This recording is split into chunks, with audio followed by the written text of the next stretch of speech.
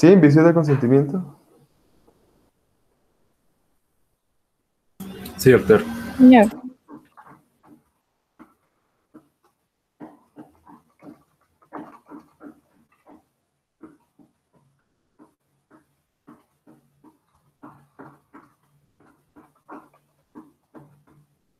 Sí, sí, perdón.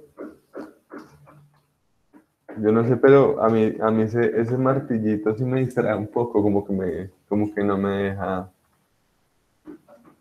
concentrar muy bien, pero bueno, vamos a hacer todo el esfuerzo. Entonces, habíamos quedado viendo los elementos de validez del contrato, ¿cierto? Y para ver los elementos de validez del contrato, pues hablamos de la capacidad, hablamos de todo lo que tiene que ver con con el con los vicios, con el consentimiento, que el consentimiento tenía que estar libre de vicios y hablamos pues todo lo relacionado con el error, con la fuerza y con el dolor en ese evento. Eh, y pues también toda esa la incidencia que tiene eso en, la formación de las, de las obligaciones. Entonces, en ese caso, eh, Vamos a continuar viendo dos elementos de validez, que esos son muy sencillos y muy rápidos de ver, que son el objeto lícito, la causa lícita. Y finalmente vamos a ver algunos aspectos relacionados con, con el contrato eh, y sobre todo cuáles son los efectos de que no se dé la de que no estén presentes los elementos de validez en el, en el contrato. Es, lo que de pronto pretendo que canalicemos ahí. Y ya con eso, para ver si la próxima clase ya, ya vemos cuasi contrato, delito, cuasi delito, en ese caso. Entonces, objeto lícito. Cuando hablamos del objeto, todavía no lo coloquemos la categoría de lícito o ilícito, simplemente cuando hablamos del objeto, el objeto del contrato a qué hace referencia.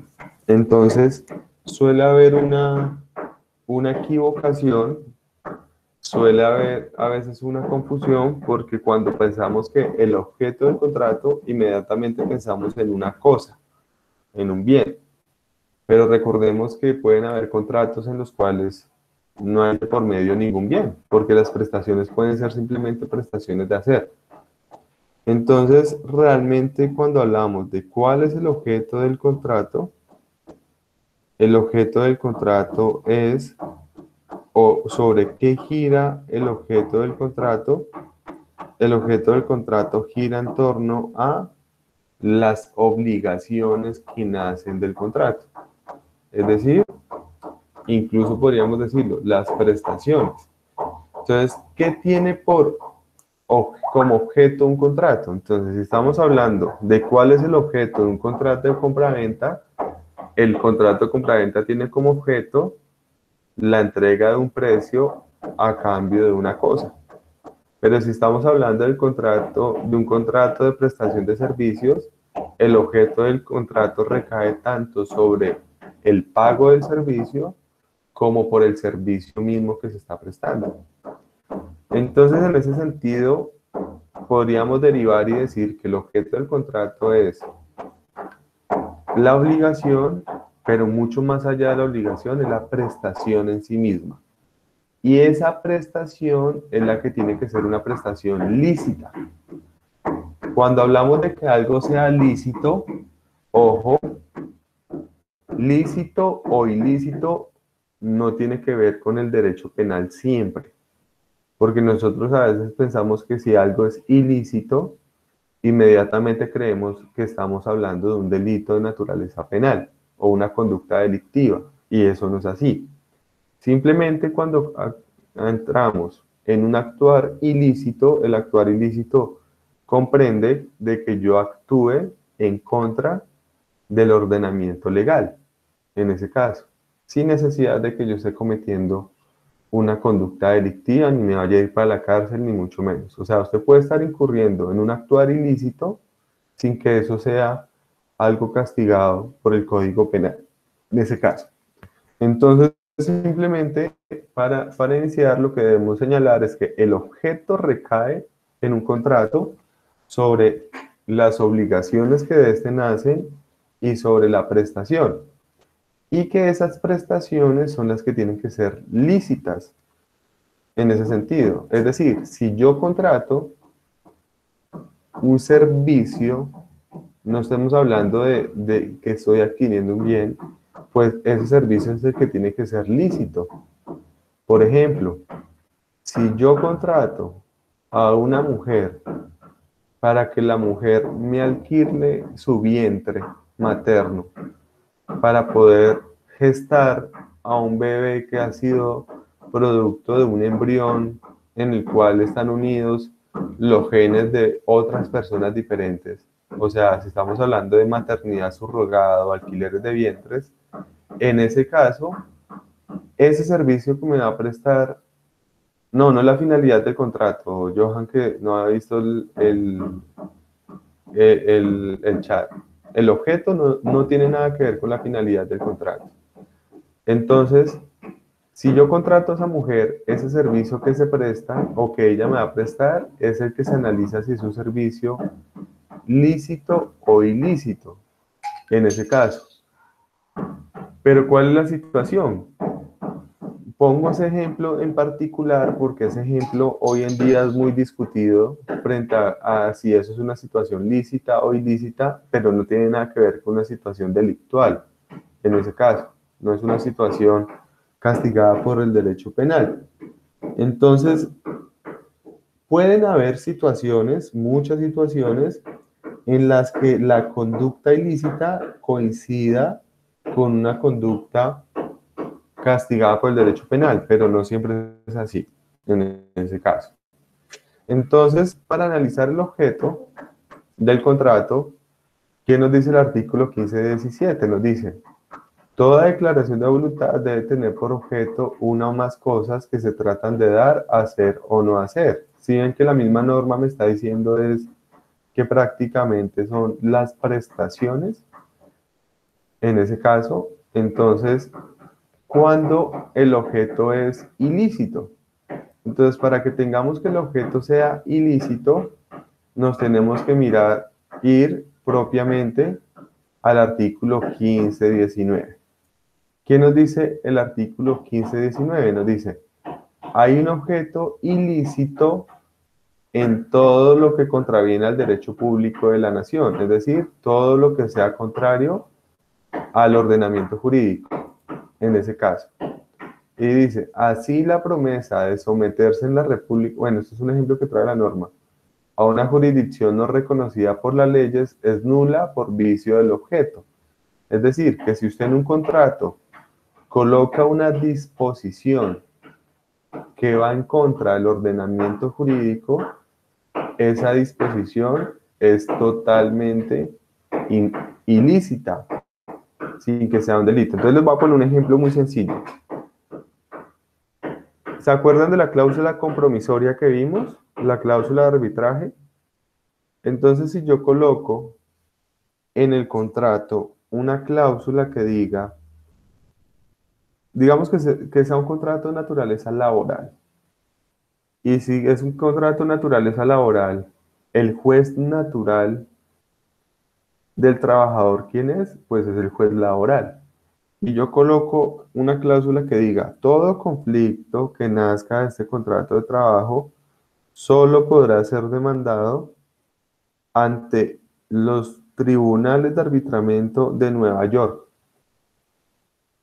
esa cláusula como tal implica una prestación que adolece de objeto ilícito, porque la ley prohíbe apartar esos conflictos de su juez natural, que es el esto, juez laboral. Y por consiguiente, esa cláusula podría ser nula, adolecería de objeto ilícito. Y eso no es un delito penal, o sea, yo no me voy para la cárcel por colocar eso en un contrato. Pero entonces hago ese ejemplo o coloco ese ejemplo para que me entiendan por favor la diferenciación de esa situación.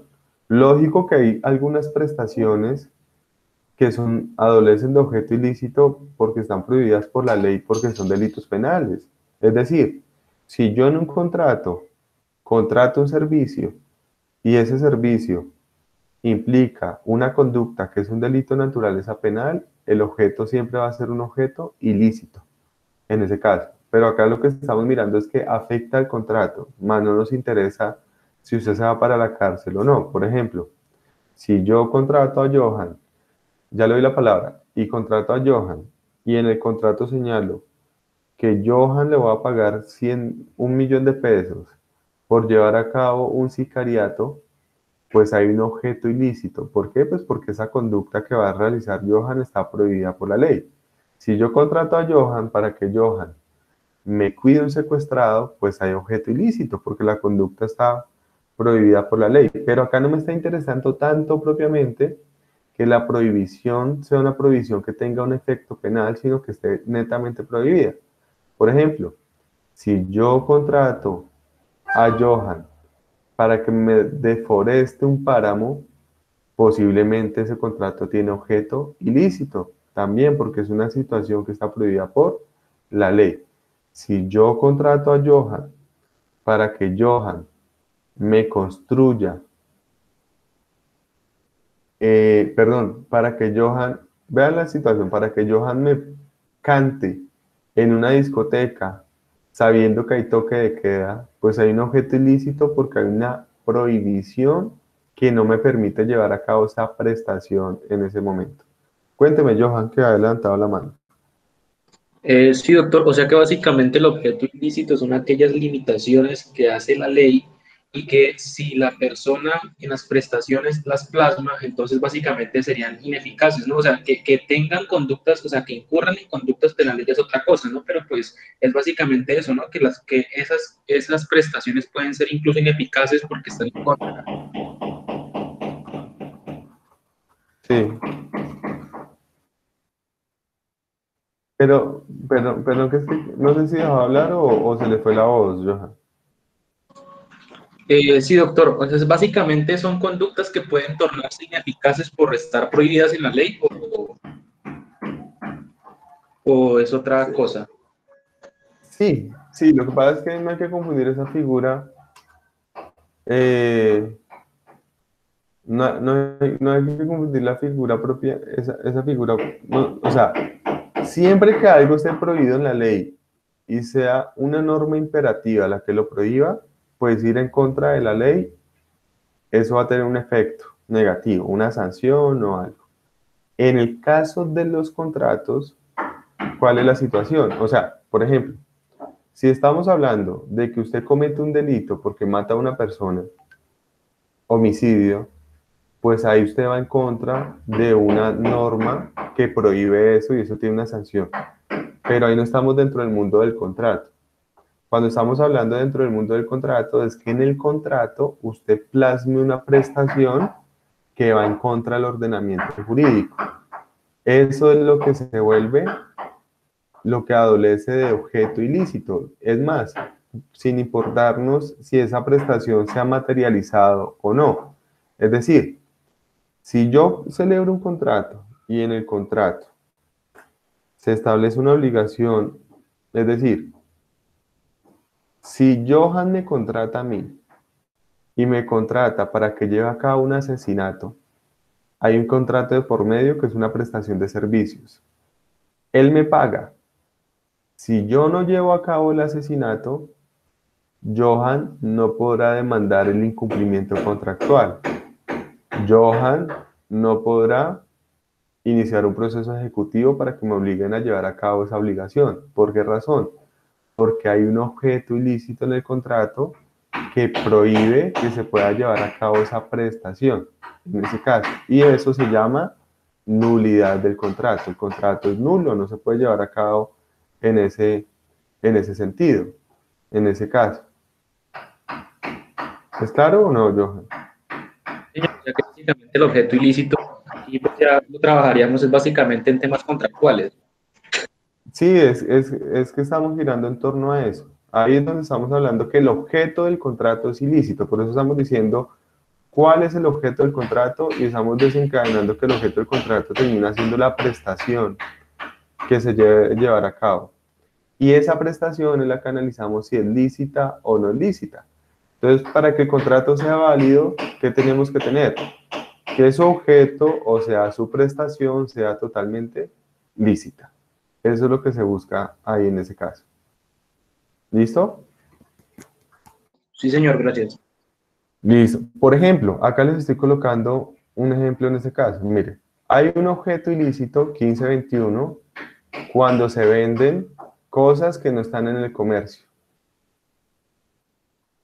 ¿Qué es algo que no está en el comercio? Por ejemplo, si yo le vendo un oso anteojos, el oso de anteojos es un bien incomerciable y al ser un bien incomerciable, pues no es susceptible de enajenación. O sea que si yo se lo vendo, hay objeto ilícito en ese caso. Eh, pero recuerden, acá no estamos mirando si eso da lugar a un tema de cárcel, una multa, no, acá estamos mirando es cómo afecta eso al contrato. Acá me interesa el contrato y cómo afecta las obligaciones nacidas del contrato. ¿Y cómo las afecta? Ya le dijimos. Pues de que simplemente yo no puedo exigir que me cumplan unas obligaciones de un contrato cuyo objeto es ilícito. O si el objeto es ilícito, yo podría solicitar que me devuelvan la prestación. Otro ejemplo, mire lo que dice acá. De los derechos que no se pueden transferir a otra persona. ¿Quién me da un ejemplo de eso?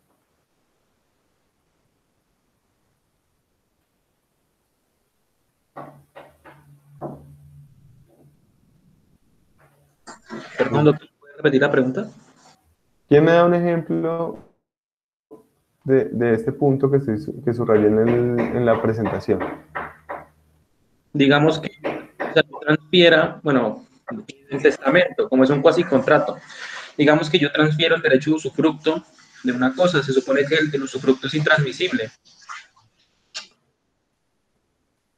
Mm, eso no es tan cierto, pero no voy a entrar en esa, en esa discusión. eso no es tan cierto, pero no, ese ejemplo no me sirve profe, que digamos yo contrato, lo contrato a usted para que me represente en un caso y al final resulta en juicio representándome otra persona, cuando el contrato dice que debe ser directamente el doctor Joan. Pero eso es una prohibición de cesión del contrato, no. En familia hay un derecho, hay un ejemplo en familia muy diciente de un derecho que es intransmisible. Bueno, que... Derecho de herencia, ¿no? No, el derecho de herencia yo lo puedo vender. A la vida. Puedo venderlo, ¿no? Entonces, los derechos herenciales los puedo ceder. Los personalísimos no los puedo, no los puedo ceder como tal, o sea, no puedo...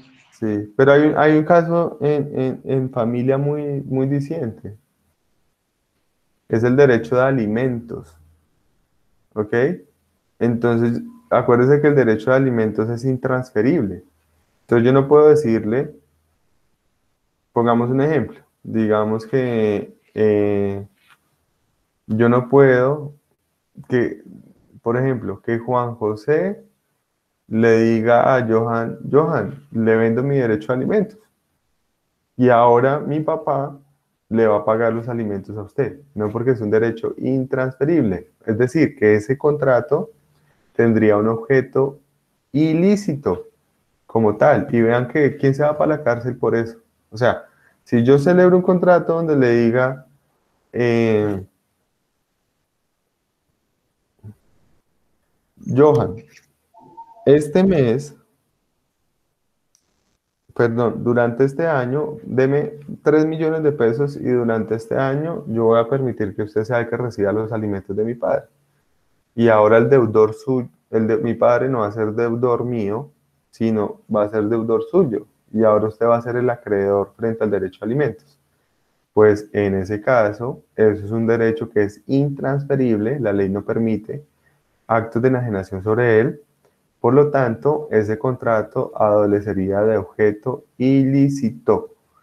Y si Johan va a cobrarle a mi papá, pues mi papá le va a decir, no, qué pena, pero ese contrato es nulo por ilicitud en el objeto.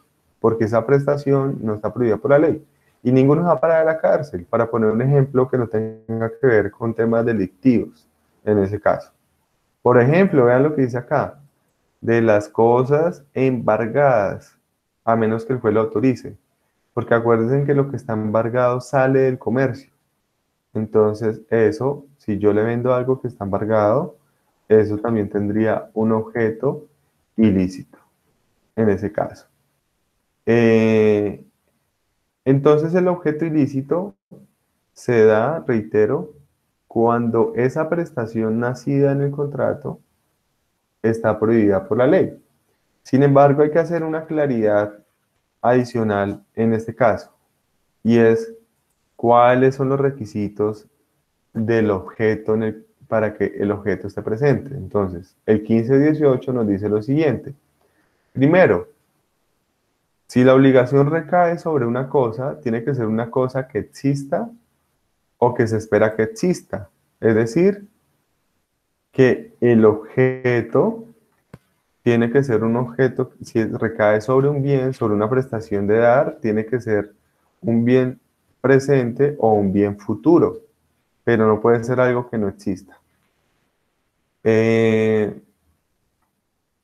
por ejemplo, voy a decir una estupidez. Entonces yo le vendo a usted una esfera del dragón. Pues yo creo, lo que pasa es que yo soy más viejito y, y yo me vi Dragon Ball desde el Dragon Ball normalito hasta el último. Ustedes ya lo vieron reencauchado porque pues estamos más jóvenes. Pero, pero, ahí, entonces, yo creo que todos me entienden que es una esfera del dragón. Entonces, si yo le vendo una esfera del dragón, ese contrato adolecería de objeto ilícito. Algunos dirían que no, y hay una discusión. Y hay algunos que dicen que no es objeto ilícito, sino que lo que pasa es que el contrato es inexistente porque carece de objeto. Es decir, no, hay nada sobre lo que le estoy prestando en ese caso. Entonces, en ese, en ese sentido, eh, es imposible. Es como cuando yo le digo que le voy a contrato con usted un contrato de un, un concierto de Michael Jackson. Pues es imposible la prestación. ¿Por qué razón? Pues porque Michael Jackson ya, ya no existe, ya está muerto. Entonces, ahí hay una discusión si el contrato es inexistente o si el contrato tiene un objeto ilícito. Porque el 15 y 18 debe decir que las cosas tienen que existir en ese caso. Además dice que tienen que ser comerciables, que tienen que estar determinadas, es decir, que tiene que haber claridad en el contrato sobre el objeto, sobre lo que recae. Recuerden, no sobre una cosa o un bien, sino la prestación tiene que ser una prestación existente, tiene que ser una prestación eh, que pueda ser comercializada. Por ejemplo, hay una gran discusión los servicios sexuales. El, proxenetismo, ¿saben qué es ser proxeneta? Sí, el que se dedica a incentivar la prostitución y a inducir a las personas en la prostitución. Esa actividad es una actividad delictiva, castigada por el derecho penal. Pero la actividad prestada por la persona que se dedica a sus servicios sexuales hay jurisprudencias que han determinado que no está prohibida. Y si no está prohibida, lo cual quiere decir que no hay objeto ilícito en ese caso. Eso es una discusión reciente porque antes entendía que eso era un objeto ilícito en ese caso. Y ojo, ¿a qué voy con ese tema?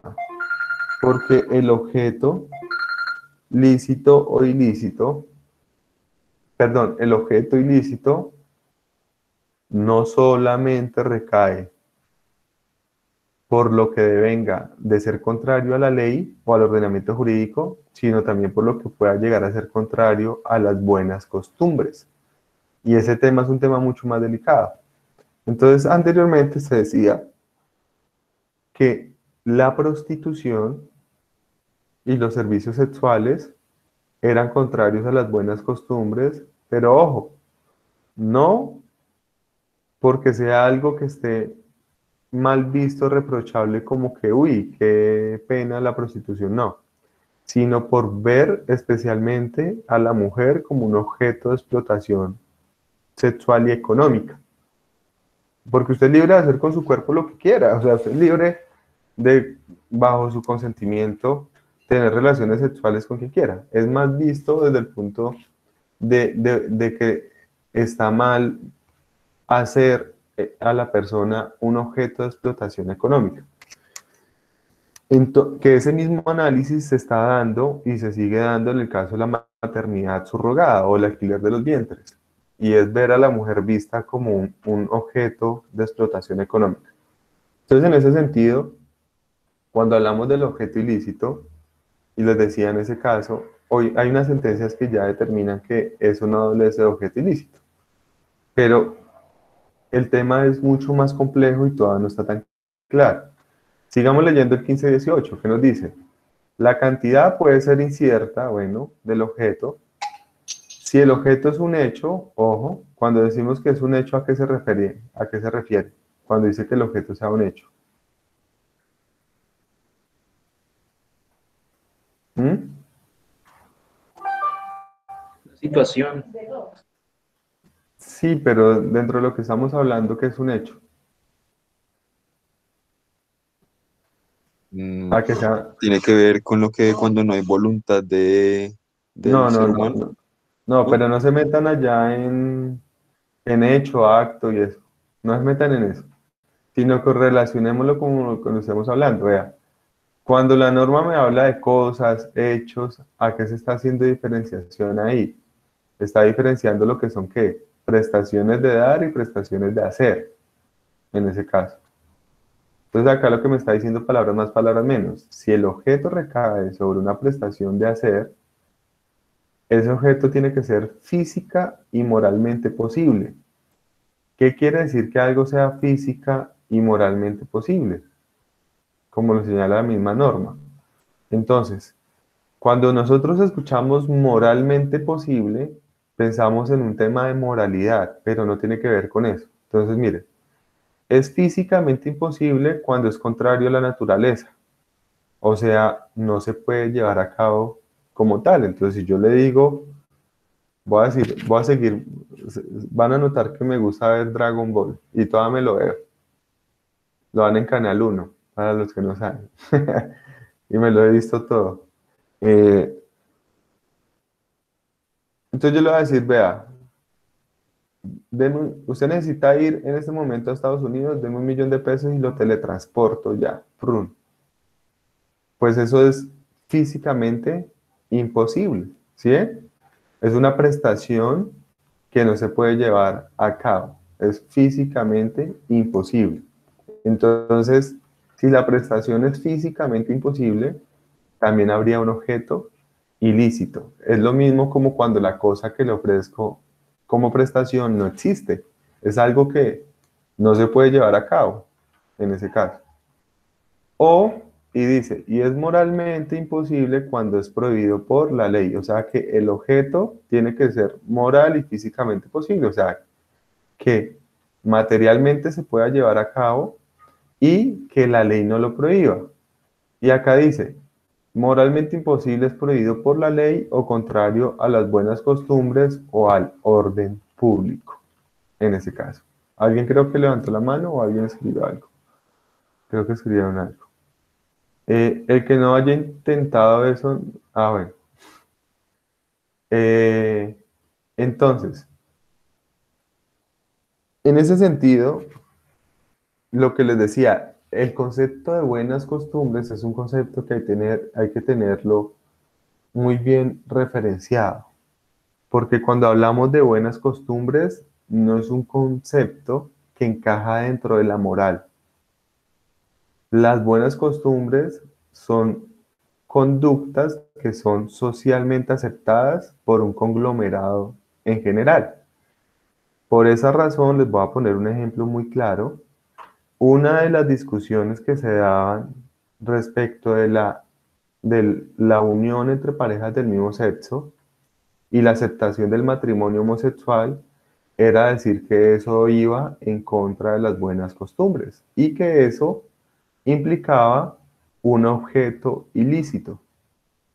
Ese tema se analiza, pues como el matrimonio es un contrato y se dice me da mucha pena, pero, ah, y además porque decían también, decían que el matrimonio homosexual tenía objeto ilícito porque iba en contra de la ley, porque la ley dice que el matrimonio es entre un hombre y una mujer. Entonces, pues lógicamente aplican un tema de principios, un tema constitucional, y determina que porque la ley restringe una figura para dos personas, no quiere decir que no se pueda encajar en otra situación.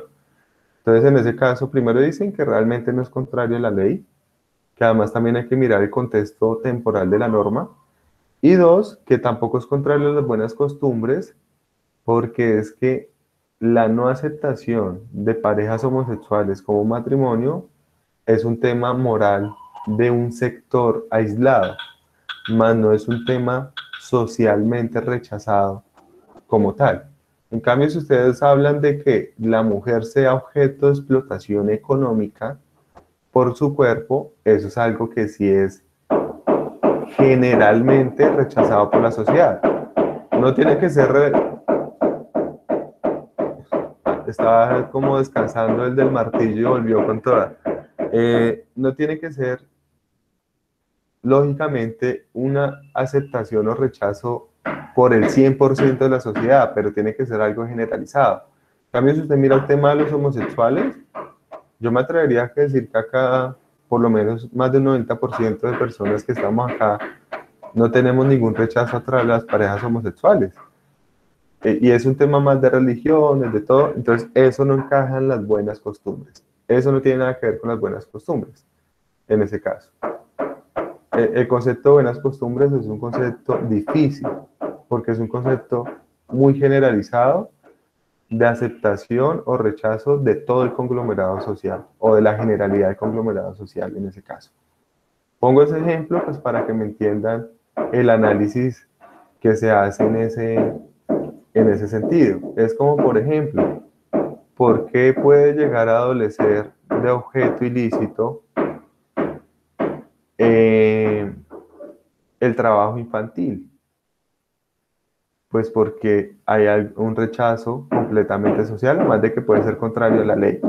Lógicamente, lo que es contrario a las buenas costumbres termina convirtiéndose en ley o termina existiendo una ley que rechace esa situación. O sea, el legislador termina tipificando lo que es contrario a las buenas costumbres normalmente, porque pues ya es una situación aceptada de forma generalizada en ese caso. ¿Listo? Entonces, ¿estamos, estamos claros ahí en ese caso? En el objeto del contrato. Listo. Y vamos con la causa. ¿Qué es la causa como tal? Cuando hablamos de la causa, ahí sí es lo que decía Johan hace un rato. La causa es el, no es la finalidad, sino es lo que me motiva, es el móvil que me lleva a buscar el contrato. O sí podríamos incluso decir que la finalidad es, es lo que yo quiero o, por sí, o persigo con el contrato. Es un concepto muy complejo, porque la causa por lo general ¿En dónde la encontramos? La encontramos en la psiquis del contratante, ¿cierto? Entonces, un contrato de compraventa. Entonces van a comprar una Coca-Cola. ¿Cuáles son las prestaciones que nacen de ese contrato? Entonces miremos, analicemos los cuatro elementos de validez. ¿Tiene capacidad? Sí. Ejemplo, yo voy a comprar una Coca-Cola. ¿Tengo capacidad? Sí, tengo Voy a cumplir 35 años, no soy incapaz. Dos, consentimiento libre de vicio, sí, conozco y quiero comprarlo. No hay error, no hay fuerza, no hay dolo. Tres, ¿hay un objeto ilícito? Sí. En ningún lado está prohibido comprar bebidas azucaradas, ni es contrario a las buenas costumbres.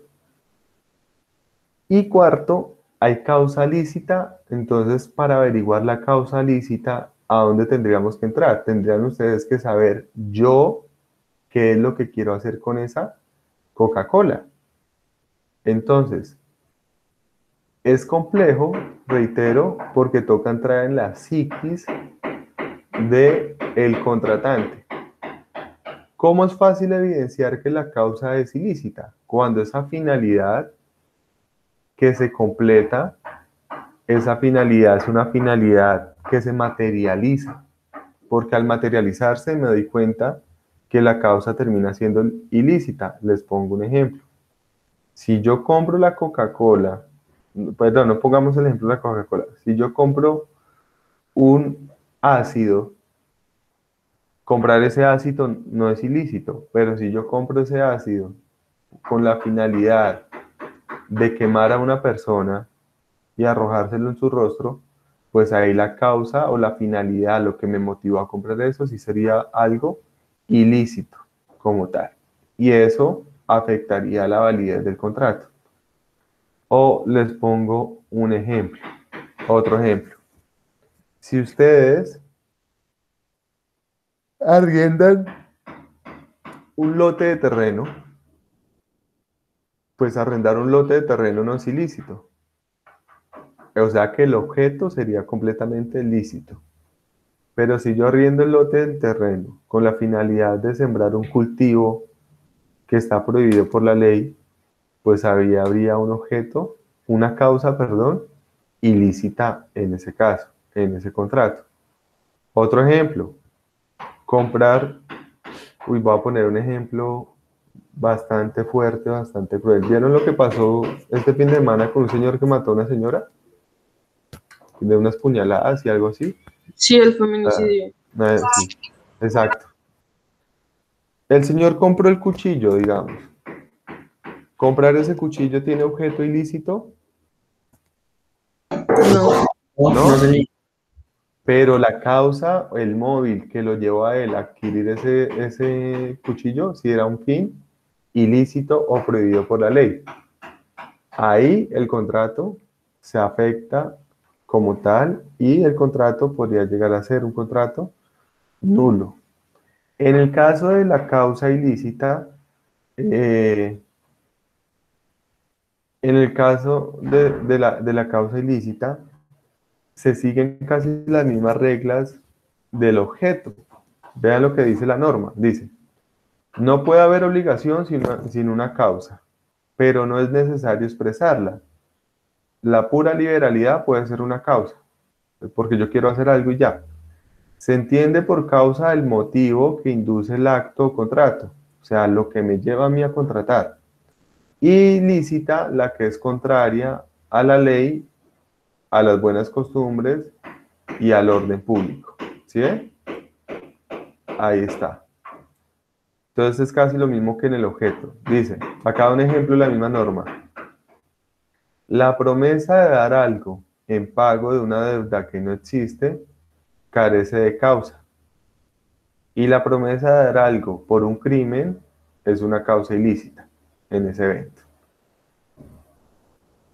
Esto tiene eh, una situación que va muy de la mano con lo que hemos hablado en los principios del nemo propia en turpitud en el legan potes y eso, y es que el 1525 me dice que una persona no puede repetir lo que haya dado o pagado por un objeto o una causa ilícita sabiendas. Es decir, que cuando usted contrata siendo consciente de que hay un objeto o una causa ilícita, no puede demandar solicitando la nulidad del contrato y recuperar su prestación en ese caso, en ese evento. ¿Por qué? Pues porque hay de por medio una prohibición legal que no lo permita en ese caso. Y pues lógicamente que eh, lo que simplemente lo que se busca es que la, la, la causa es decir, la finalidad que yo busco tenga que, pueda ser real y sea cierta. Yo les soy sincero. Bueno, sincero no, eso no necesita una acto de sinceridad. Yo les cuento algo. en la práctica, por lo general, es muy difícil o no es tan frecuente ver que se configure un vicio del consentimiento. Sobre todo por lo que hablábamos la clase pasada, por lo que es el tema de el carácter invencible de los vicios. Es decir, porque el error y el dolo implica que yo sea una persona diligente y realmente muchas personas se equivocan al contratar o se dejan engañar por negligencia. Entonces no pueden alegar un vicio de consentimiento. Y la fuerza porque tiene que ser una situación ya muy inminente. Entonces a veces la fuerza tampoco es tan fácil de demostrar.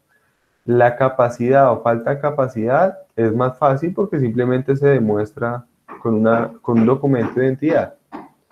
El objeto ilícito también es fácil o es frecuente de verlo porque pues usted simplemente demuestra que está prohibido por la ley, pero la causa sí es raro o casi, no, o mejor dicho, yo nunca he visto un proceso donde se demande por causa ilícita en ese caso, en ese evento, en, en esa situación. ¿Estábamos hasta ahí claros? ¿O no? Listo. Entonces, todo lo que acabamos de ver desencadena en una situación muy particular. Y es que cuando no está presente alguno de los elementos de validez del contrato, o el contrato se puede haber afectado por su validez, en ese caso, podemos entrar a algo que es la nulidad del contrato.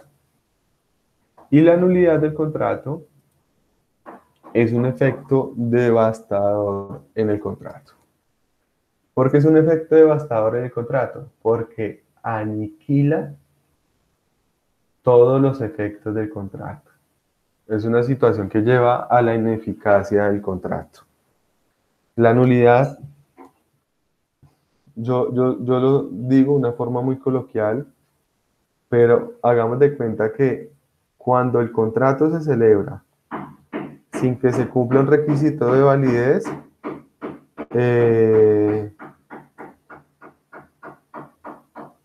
el contrato nace enfermito, está enfermo.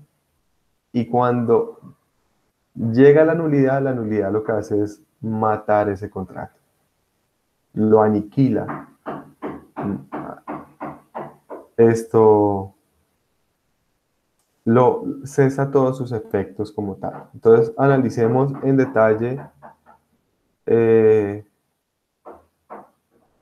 analicemos en detalle esto, el fenómeno de la, nulidad y sobre todo, pues esos otros efectos de ineficacia del contrato. Entonces, la nulidad está, está regulada en el, en el artículo 1740 del Código Civil y nos señala que todo acto es nulo cuando falta algún requisito que la ley establezca para su validez, en ese caso. Y nos establece que la nulidad puede ser absoluta o puede ser relativa. Pero hay que tener en cuenta algunos aspectos importantes de la nulidad.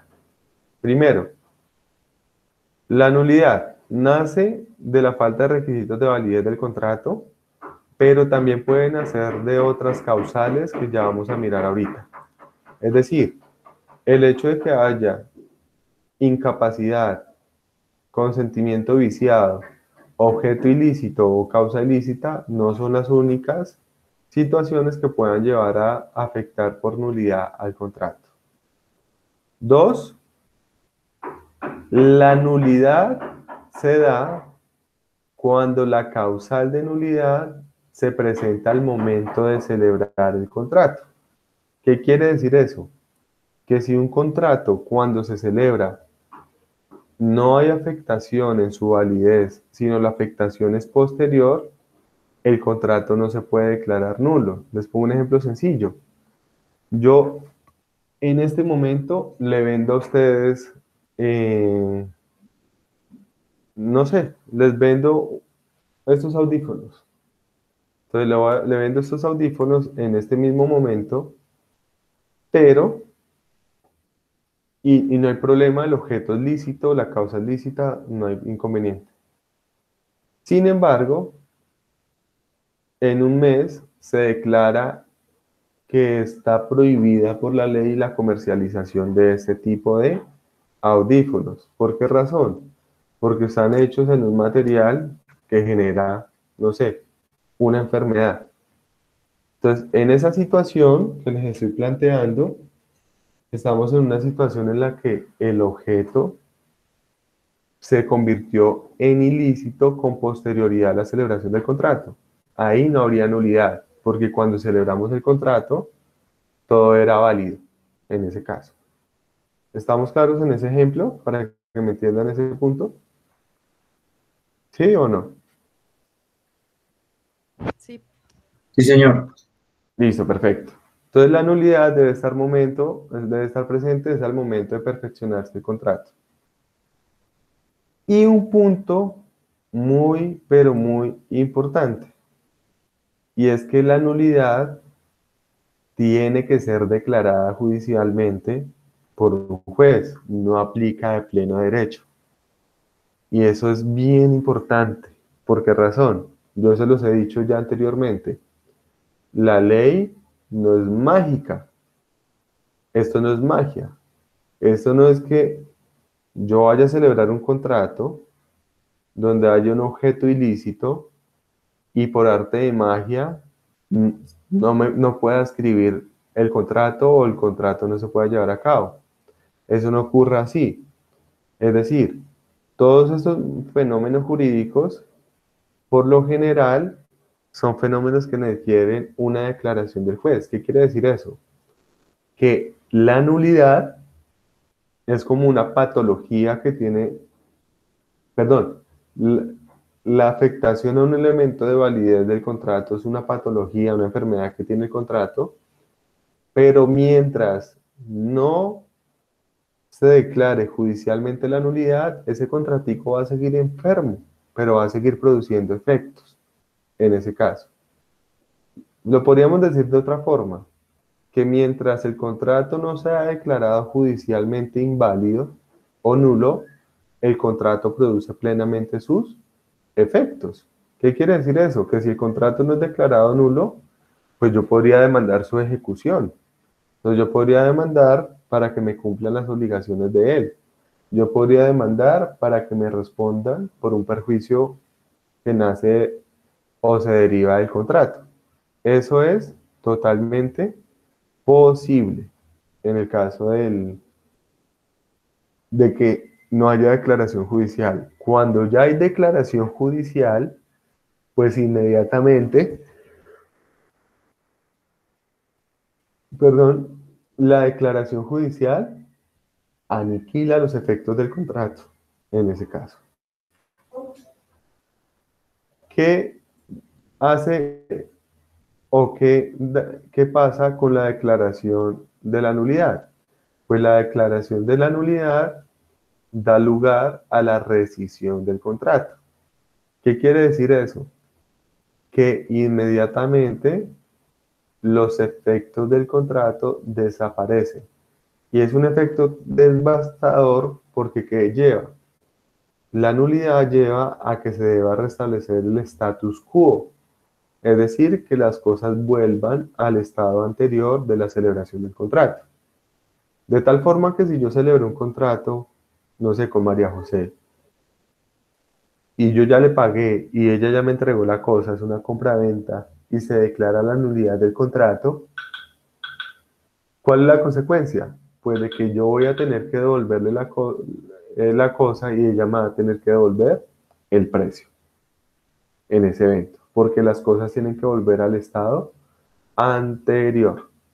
O peor aún, si yo le vendo a María José y María José ya le vendió a otra persona y se declara la nulidad, pues eso se echa todo para atrás y vuelve al estado anterior en ese caso. Es un, es, un efecto bastante fuerte en el contrato. en ese, en ese caso. Entonces se restablece como tal. Nos lo dice el 1746. ¿Qué nos dice? La nulidad pronunciada en sentencia que tiene la fuerza de cosa juzgada da el derecho para ser restituidas al mismo estado en que se hallarían si no hubiera existido el acto o contrato. Es decir, las cosas vuelven al estado anterior, se restablece el status quo. Y por consiguiente, eso puede dar lugar a lo que se conoce como las restituciones mutuas. ¿Qué son las restituciones mutuas? Pues a devolvernos o a restituirnos las prestaciones, en ese caso. ¿Estamos claros o no?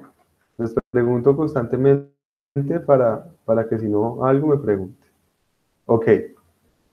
Y el contra, la nulidad, perdónenme, la nulidad puede ser de dos tipos. Puede ser, uy, perdón, me cayó acá el computador. La nulidad puede ser absoluta o puede ser relativa, en ese caso.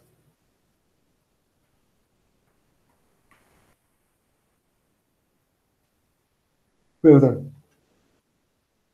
Cuando hablamos de que la nulidad sea absoluta o relativa, el legislador lo que quiso fue proteger más a ciertos actos que a otros y especialmente hizo una variación entre las causales que dan lugar a una nulidad y a otra y estos tipos de nulidad pues, que, pues tienen unas diferencias bastante marcadas.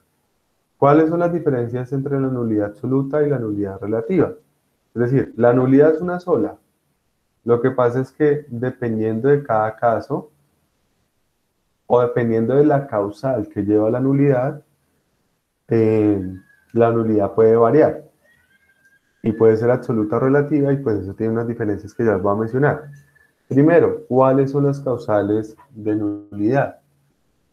Entonces, con el cambio que hubo con la ley 1996, las causales de nulidad cambiaron de la siguiente forma. Acá las tengo, las, las copié pues para que exista mayor claridad. Entonces la norma nos señala que hay nulidad absoluta cuando hay objeto ilícito, cuando hay causa ilícita, quitemos esto de acá para no entrar en la discusión que ustedes tienen o que tenemos, cuando hay falta de formalidades exigidas por la ley para la validez del contrato y cuando el contrato es celebrado por, por un incapaz absoluto. En estos casos, tendríamos lo que se conoce como una nulidad absoluta. Objeto ilícito, causa ilícita, contrato celebrado por un incapaz absoluto o falta de formalidades exigidas por la ley para la validez del contrato. ¿Cuáles son las formalidades exigidas por la ley para la validez del contrato? Entonces acá hay que hacer una diferenciación. Y es que hay formalidades que se exigen para la existencia del contrato y hay formalidades que se exigen para la validez del contrato o del acto, por ejemplo. Para que exista testamento tiene que hacerse por escritura pública. Para que la compraventa de un bien inmueble exista, tiene que constar en escritura pública. Es decir, que esa solemnidad no tiene que ver con la nulidad que se menciona ahí, sino tiene que ver con la existencia del contrato. Pero, por ejemplo, para que el testamento sea válido, tiene que hacerse con un número de testigos. Si no se celebra con ese número de testigos, así sea por escritura pública, el testamento existe, pero sería un testamento nulo por nulidad absoluta. O les pongo un ejemplo. Si yo celebro una compraventa y la compraventa consta en escritura pública, existe. Pero, por ejemplo, si yo celebro una donación de un, de, un apartamento, esta tiene que constar por escritura pública, pero por superar cierto valor que establece la ley, requiere que adicional a la compraventa se realice un acto que se llama la insinuación que se hace también en la notaría. Entonces, si yo no realizo la insinuación, esa donación existe, pero puede llegar a ser nula porque eso es un requisito de validez de esa donación en ese caso, en, en ese evento. Y frente a la nulidad relativa, pues ¿cuáles son las causales para que haya nulidad relativa? De que el contrato sea celebrado por un incapaz relativo, de que haya un vicio del consentimiento y cuando se aplica acá como nulidad relativa, cuando el acto sea celebrado por una persona que requiere el apoyo y no lo usa. Ahí también habría nulidad relativa. Entonces, esas son las causales de nulidad que actualmente están vigentes. ¿Cuáles son las diferencias entre la nulidad absoluta y la nulidad relativa? Pues adicional a sus causales, tenemos como diferencia las siguientes. La primera, y se, se desglosan de acá. Perdón. Dice, vamos a leer atentamente y las vamos desglosando. 1742 dice, la nulidad absoluta puede y debe ser declarada por un juez aún sin petición de parte cuando aparezca de manifiesto en el acto o contrato. Puede alegarse por todo el que tenga interés en ello. Puede asimismo pedirse la declaración del Ministerio Público. Cuando no es generada por objeto causa ilícitos, puede sanearse por ratificación. Bueno, entonces quiero que miremos este punto acá. Este primer punto. Y ahí encontramos la primera diferencia. ¿Qué sucede? La nulidad absoluta puede ser declarada, uno, porque lo pide directamente el afectado, pero también puede ser declarada cuando la pida una persona que tenga interés sin que sea directamente el afectado. ¿Qué quiere decir eso? que puede estar legitimado en la causa para demandar la nulidad una persona que no celebró el contrato, incluso el Ministerio Público. Y cuarto, la nulidad absoluta puede ser declarada de oficio. ¿Qué quiere decir eso? Acuérdense que en materia civil la justicia es rogada. ¿Qué quiere decir que la justicia sea rogada? Que yo tengo que pedirle al juez y que el juez no me puede declarar de forma incongruente y no me puede, eh, perdón, declarar, no, no me puede fallar de forma incongruente y no puede tener providencias con fallos ni ultra ni extra petita. ¿Cierto? ¿Eso, ¿Eso lo tienen claro? Sí. ¿Sí o no? Listo. Entonces, en cambio, acá hay una gran excepción con la nulidad absoluta, que pese a que yo no le pida la nulidad absoluta al juez, si el juez evidencia que hay nulidad absoluta, puede declarar la nulidad absoluta y eso no es ultra ni extrapetita ni afecta a la incongruencia. Les pongo un ejemplo muy sencillo. Si yo demando mediante un proceso ejecutivo y demando a, a Michael y demando, lo demando y el juez al mirar la demanda evidencia que hay objeto ilícito, entonces yo digo, vea, voy a demandar, realicé con Michael un contrato. ¿Cuál fue el contrato? Que Michael me iba a llevar a cabo una fiesta y que en la fiesta, eh, perdón, Michael me contrató a mí y me contrató para llevar a cabo una fiesta y la fiesta tenía que incluir unas bebidas, una comida, unas chicas, unas drogas alucinógenas, etcétera, etcétera. Y pues yo lo demando porque yo le hice la fiesta y él no me pagó. Entonces yo le llevé las chicas, las drogas, bueno, pongamos ejemplo, si quieren chicos también, o sea, estoy, me estoy refiriendo a un tema ilícito. Entonces, el juez entra, mira, y yo le demando por qué, porque no me pagó y tengo el contrato, que es un título ejecutivo.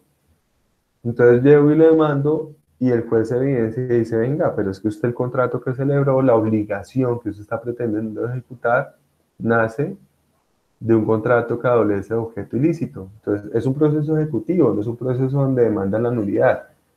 Pero yo le declaro de oficio que ese contrato es nulo. Y como es nulo, no produce efectos y usted no puede pedir la ejecución del contrato. ¿Me hago entender con el ejemplo? O si, por ejemplo, yo voy a demandar una responsabilidad de naturaleza contractual por el incumplimiento de un contrato y el contrato tiene también una causal de nulidad absoluta, pues inmediatamente el juez tiene que declarar oficiosamente la nulidad, así no se la pida, en ese caso. En cambio, en el caso de la nulidad relativa, vea lo que nos dice el 1743. Nos dice, la nulidad relativa no puede ser declarada por el juez sino a pedimento de parte.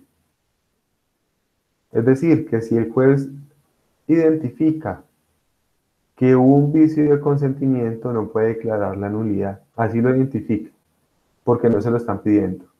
Ni tampoco la puede pedir el Ministerio Público.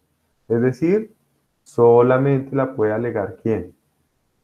El que esté interesado en la nulidad en ese caso. ¿Estamos claros ahí o no? En esa diferenciación. Es una gran diferenciación en este, en este evento. Perdón, yo borro esos artículos que no creo que nos aporten mucho a lo que estamos hablando. Ok. Y hay otra diferencia, ojo, que para mí no es una diferencia en ese evento. O sea, hay una diferenciación, pero hay que hacer claridad. Ustedes le van a escuchar a algunos profesores que les van a decir que la nulidad absoluta no se puede sanear y que la nulidad relativa sí se puede sanear. No sé si ya se lo hayan escuchado a alguien. Entonces, hay quienes dicen que la nulidad relativa se puede sanear y la nulidad absoluta no se puede sanear. Cuando hablamos de sanear la nulidad, ¿a qué nos estamos refiriendo? Lo voy a poner en términos coloquiales como lo decía ahorita, a curar a ese enfermo. Entonces, cuando yo saneo la nulidad es porque elimino el vicio de validez que afecta la nulidad, el contrato y lo elimino del contrato. Es decir, curo al enfermito, al contrato que está enfermo para que no se muera y no se declare la nulidad. Entonces hay una postura que dicen que, los, que cuando hay nulidad absoluta no se puede sanear y que cuando hay nulidad relativa sí se puede sanear. Yo la verdad no comparto esa posición por lo siguiente, y es que la norma que dice, vea, la norma dice, declaración de nulidad relativa, dice, al final dice, y puede sanearse por el lapso del tiempo o por ratificación de las partes, en este caso. Bueno, es, eso que está acá abajo es antigüedad de la norma, que antes hablaba que la mujer casada era una persona incapaz. Voy a eliminarlo ahí, que eso es totalmente arcaico ya. Entonces, frente a la nulidad relativa, ¿qué me dice? Que la nulidad relativa se puede sanear por el lapso de tiempo o por la ratificación de las partes. Cuando hace referencia al lapso del tiempo, ¿a qué está haciendo referencia? A la prescripción extintiva, en ese caso. Es decir, que pasa un tiempo que tiene establecido la ley y si usted no demanda, pues ya no puede demandar. En ese caso, recuerden que la prescripción es un fenómeno que va ligado al paso del tiempo. Y el paso del tiempo puede tener dos, dos efectos. Uno, o crea un derecho, que es la prescripción adquisitiva de dominio, cuando por el paso del tiempo el propietario se el poseedor se vuelve propietario. O dos, extingue un derecho, que es la prescripción extintiva. Y es lo que no me permite a mí que yo pueda demandar o si demando, pues me alegan la prescripción, inmediatamente la demanda se declara impróspera. Y me señala pues de que también por ratificación de las partes. ¿Qué quiere decir eso? Mire lo que dice acá, pues de que cuando hay nulidad, por ejemplo, un vicio del consentimiento, hay error, hay dolo, pues yo puedo ratificar el contrato, es decir, consentir de que realmente el contrato se puede dar. Entonces ahí se puede dar la ratificación. O yo podría ratificar un contrato también de la siguiente forma, y es en, la nulidad absoluta. Y es que la nulidad absoluta, vean lo que me dice al final, dice, Cuando la nulidad no es generada por objeto y causas ilícitas, puede sanearse por ratificación de las partes y en todo caso por prescripción extraordinaria. Entonces acá viene la situación. Si la nulidad absoluta es, perdón, si la nulidad relativa y es por que la llevó a cabo el acto un incapaz relativo, pues el incapaz, cuando se convierta en capaz, ratifica el acto y sanea la nulidad. Dos, si hay un vicio de consentimiento, pues quien sufre el vicio ratifica el acto y dice que está de acuerdo, que no hay ningún problema. Si es por un tema de que no se tiene el apoyo de la ley 1996, pues simplemente ¿qué se hace? Pues se corrige la situación llevando al apoyo y se ratifica y no hay ningún problema. En el caso de la nulidad absoluta, si es nulidad absoluta porque lo celebró un incapaz absoluto, pues también puede haber ratificación cuando esa persona se convierte en una persona capaz. Si no se cumple con la solemnidad, como lo dice la misma norma, pues ¿qué se hace? Pues llevar a cabo la solemnidad que no se hizo y la nulidad estaría saneada. Y si estamos ante una situación de objeto o causa ilícita, como estamos acá, la norma me dice que inicialmente no se pueden sanear. Acá me lo está diciendo. Pero después me dice que siempre se podrá sanear todo por efecto de la prescripción. ¿Qué quiere decir eso? Que pese a que haya objeto ilícito y causa ilícita, el paso del tiempo y la operancia de la prescripción hace que el contrato ya no sea nulo. Es decir, que de alguna forma, tanto la nulidad absoluta como la nulidad relativa se pueden sanear. Lo que pasa es que en el caso de la nulidad absoluta, la única forma de sanear el objeto ilícito y la causa ilícita es por efecto de la prescripción extintiva. ¿Estoy claro ahí? En ese caso. ¿O no? Sí, señor. ¿Sí? Listo, perfecto. Entonces, ¿les parece si hacemos una pausa? Son las 10 y 33. A las 10 y... Perdón, 10 y, 10 y 50. ¿Listo? Listo, Ya profe. Vale, entonces ya, ya nos hablamos.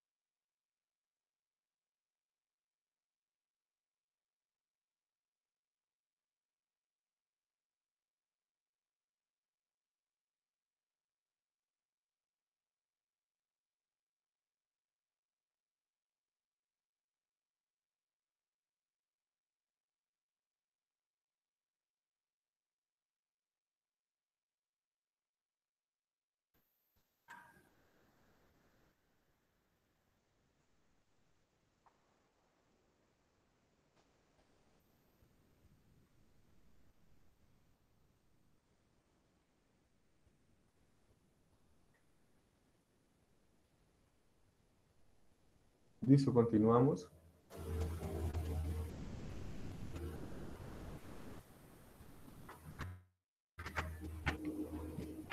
Ok, entonces, em, para terminar lo que tiene que ver con el contrato como fuente de obligación, simplemente quisiera hacer referencia algunos fenómenos donde se puede ver afectada la eficacia del contrato. Y pues ya partimos de explicar uno de esos fenómenos que era directamente la nulidad del contrato. Entonces, en ese sentido, ¿por qué hago mención a esto? Se supone que un contrato es eficaz cuando produce efectos y esos efectos se traducen en obligaciones que se cumplen, que se llevan a cabo. Entonces, en ese caso, pues es importante que como, como análisis de, de esto podamos mirar cuando una obligación, cuando una obligación produce efectos y cuando esto, cuando un contrato produce efectos, cuando se puede ver afectada su ineficacia y cuáles formas pueden llegar a afectar ese tipo de, de eficacia. Entonces, ya mencionamos una en particular, que es la que tiene que ver con, em, con todo lo que tiene que ver con la nulidad en ese caso. Y pues eh, habrán otras que no las vamos a mencionar ahorita, las vamos a ver más adelante, que es la simulación y la resolución del contrato. Quiero que veamos unas, unas muy en específico como tal. Eh, la resolución del contrato y la simulación del contrato y la nulidad pueden afectar la eficacia del contrato o la afecta, pero la simulación y la resolución del contrato la vamos a trabajar más adelante cuando veamos los modos de extinguir las obligaciones en ese, en ese momento. Eh, ok. Y o de pronto, de pronto como vayamos de tiempo, si alcanza la vemos de una vez. de una vez las vamos a hablar. ¿Ustedes ya hablaron de simulación con Manuel? ¿O lo han tocado el tema de simulación? ¿El contrato? Sí, señor, la hemos mencionado. La simulación absoluta relativa, ¿no? Sí, ah, listo, perfecto. Entonces yo creo que de pronto la, la hablamos de una vez. Entonces, ¿qué es lo que sucede? Les decía, lo que se busca en un contrato es que el contrato produzca efectos. Y esos efectos pues están implícitos en el cumplimiento de las obligaciones, porque cumplir con las obligaciones es lo que da lugar a satisfacer a los contratantes en un contrato. Entonces, bajo, bajo ese entendido, pues tenemos que analizar la ineficacia del contrato y la ineficacia del contrato se puede presentar por varias situaciones en especial. Ya mencionábamos la nulidad, y la nulidad, pues decíamos de lo que mencionamos ahorita, nos faltaba mencionar una cosa para relacionarlo con la ineficacia. Perdón, perdón, me devuelvo un segundo. Digamos que la ineficacia es el género y dentro de ese género de ineficacia hay diferentes formas de ineficacia y ahí vamos a una que es la nulidad. Simplemente una apreciación adicional a lo que ya hemos mencionado la nulidad. Y es que cuando hablamos de nulidad, el contrato existe como tal, el contrato nace a la vida jurídica, solamente es que los efectos del contrato se pueden ver afectados por la falta o omisión de requisitos de validez del contrato. Pero hay que hacer una claridad adicional a las que ya hemos hecho. La nulidad puede afectar todo el contrato o puede afectar solamente una parte del contrato. Es decir, que la nulidad puede ser total o puede ser parcial. Puede que la nulidad sea solamente de una cláusula y que esa cláusula sea nula y el resto del contrato sea plenamente válido en ese eh, eh. Otra forma de afectarse la eficacia del contrato, otra forma de ineficacia es lo que conocemos como inexistencia del contrato. Cuando hablamos de que el contrato es inexistente, es porque este contrato ni siquiera nace a la vida jurídica. Y por consiguiente, si no nace a la vida jurídica, el contrato inexistente, esa inexistencia no requiere de declaración judicial en ese evento. Es decir, no tenemos que iniciar un proceso para que se declare inexistente el contrato. Porque, ni, o sea, como no existe, ni siquiera hay forma de que produzca efectos temporales, como si pasa con la nulidad, que la nulidad, pues, mientras no sea declarada nula, sus efectos temporales se van dando. En, en cambio, la inexistencia del contrato hace que el contrato no nazca la vida jurídica y por consiguiente tampoco nacen las obligaciones que nacen de ese tipo de contrato. ¿Cuándo hay inexistencia? La inexistencia se puede dar por las siguientes causales. La primer causal de inexistencia, ¿cuál es? Cuando el contrato se celebra sin las solemnidades que exige la ley para su nacimiento. Entonces, ejemplo, si yo le vendo una casa, pero no lo hacemos por escritura pública, ese contrato es totalmente inexistente. Si yo me caso, pero no me caso ante un párroco, sino me caso, me casé ayer en una fiesta que fui, unos amigos me casaron ahí, pues ese contrato es inexistente porque se requiere una solemnidad. Entonces, el no estar presente esa solemnidad afecta la existencia del contrato, en ese caso. O sea, no habría contrato, no hay nada. Dos, cuando el contrato se celebra y no se mencionan todos los elementos esenciales del contrato. Por ejemplo, en la compra-venta, si yo le digo que le vendo un carro y usted me dice que lo compra, pero no mencionamos el precio, ese contrato es inexistente. Y es inexistente pues porque no está entablada claramente la relación contractual en ese caso. Dime, María Paula. Profe, qué pena, se me entrecortó cuando estabas diciendo la segunda. ¿Será que me la puedes repetir, por favor? Ok, la primera es porque no se cumple con las solemnidades exigidas por la ley para que el acto nazca la vida jurídica. Entonces, si no existe eso, el, el contrato, el acto es inexistente. La segunda es porque no están presentes todos los elementos esenciales del contrato. Entonces les decía hace un, ca- hace un rato, si yo le digo a María Paula que le compro su carro y ella me dice que me lo vende, estamos de acuerdo en eso, pero no hablamos del precio, pues no hay compraventa, porque es que es un elemento esencial de la compraventa que hablemos del precio. Acuérdense de los elementos esenciales, de la naturaleza y los accidentales. Entonces ahí el contrato sería totalmente inexistente. Dos, si celebramos el contrato y es un contrato real, perdón, tres, tercera causal.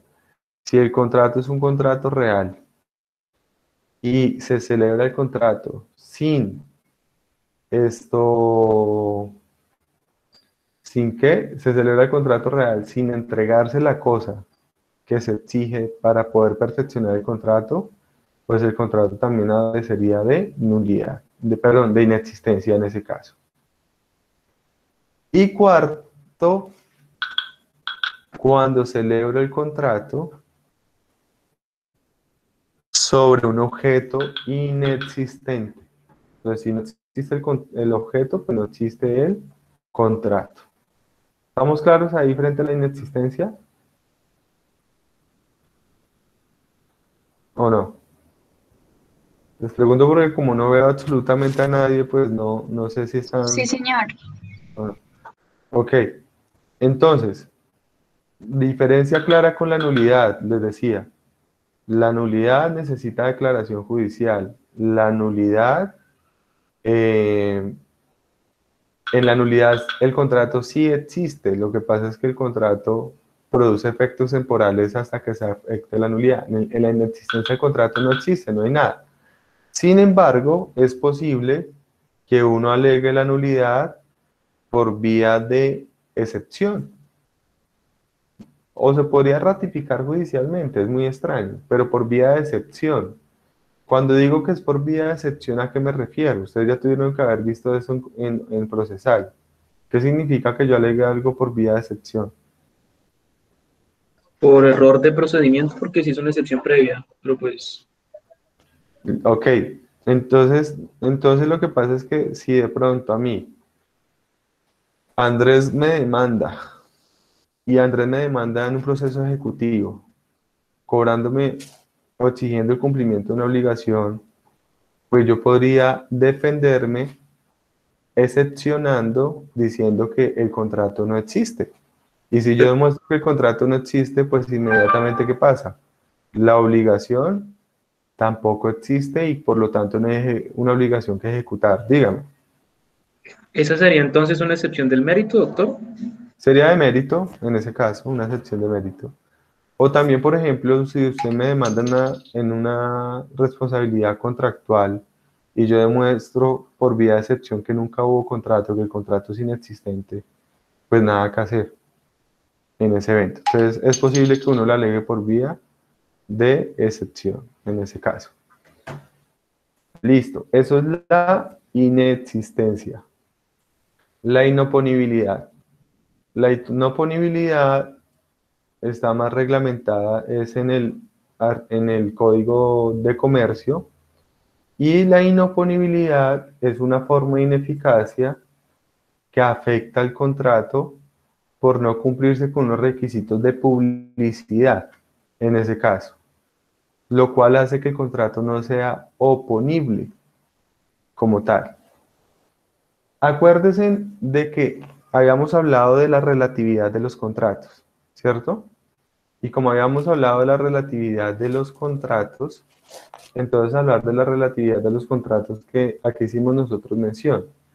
Nosotros señalamos de que el contrato solamente produce efectos entre las partes, entre los que contratan, solamente obliga a las partes, pero de alguna manera sí tiene unos efectos frente a las demás personas y es que las personas, yo les puedo oponer ese contrato, se los puedo hacer valer a ellos.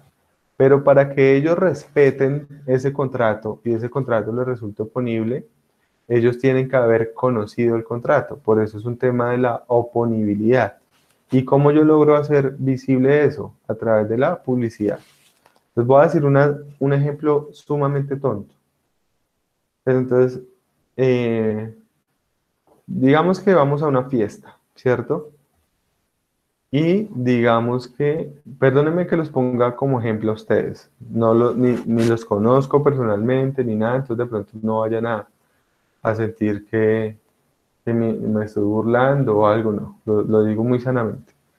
Entonces digamos que em, vamos a una fiesta y Luisa,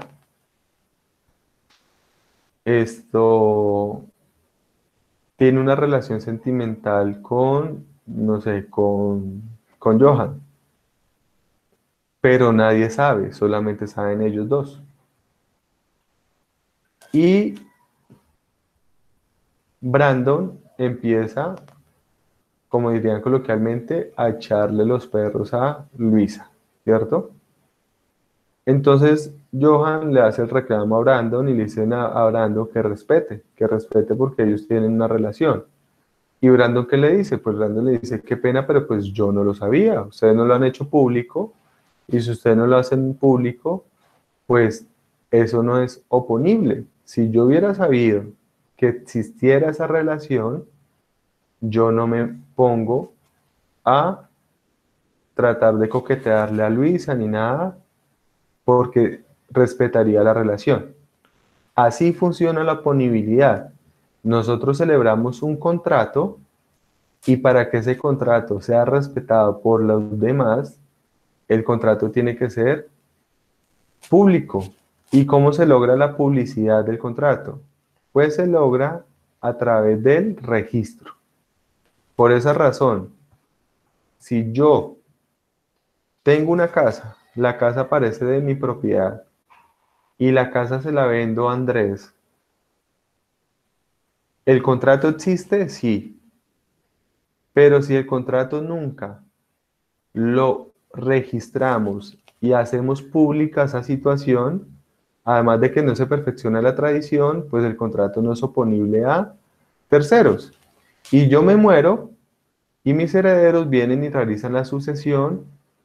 ¿Por qué razón? Pues porque ellos no conocían ese contrato. Entonces ustedes me van a decir, sí, sí lo conocía. No, porque es que la forma adecuada de hacer público ese contrato es a través del registro de instrumentos públicos.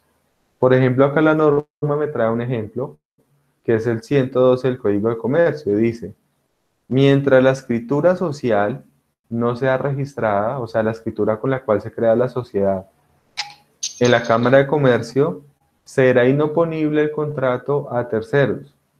Es decir, que el contrato produce efectos entre las partes, pero no puede afectar a terceros en ese caso.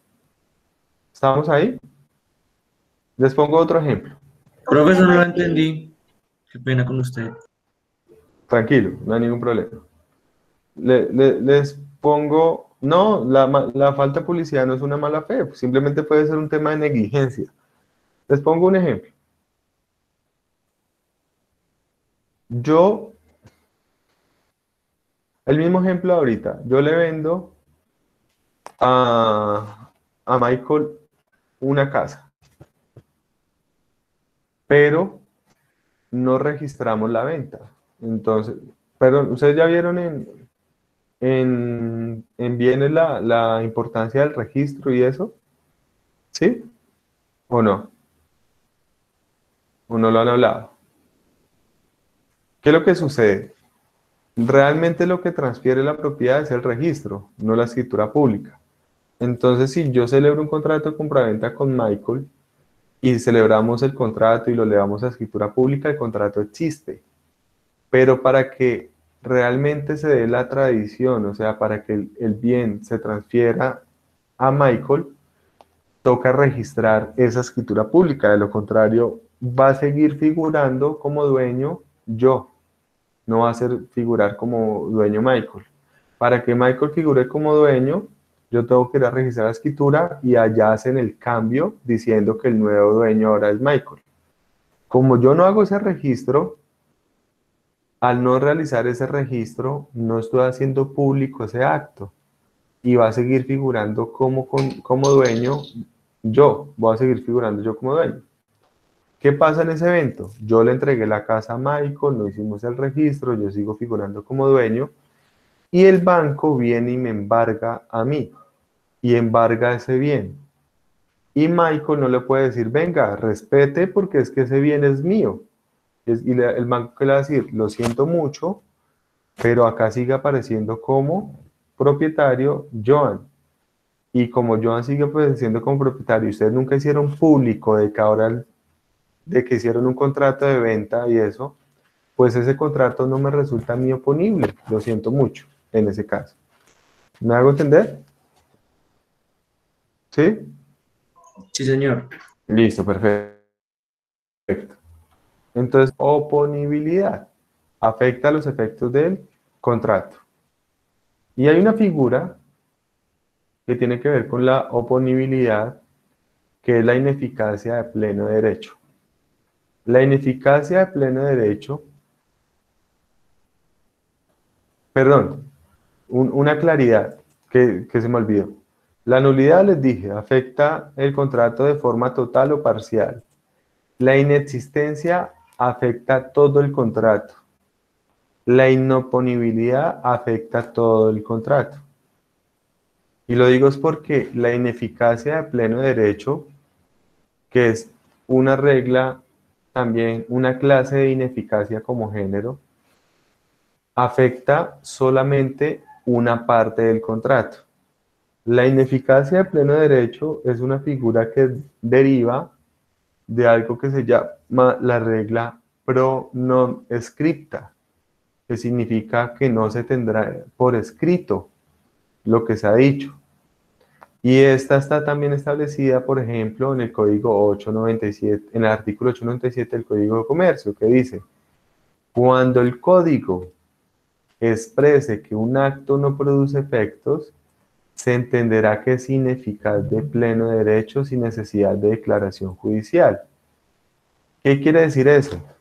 Que si el mismo código me está diciendo, si usted dice lo contrario a esto, no produce efectos o se tendrá por no escrito, inmediatamente eso es ineficaz de pleno derecho, sin necesidad de que me lo declare un juez.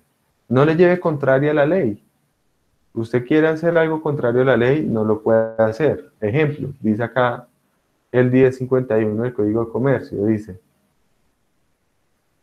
la póliza puede ser nominativa o a la orden. Está hablando del contrato de seguro. La cesión de la póliza en ningún caso produce efectos. ¿Qué quiere decir eso?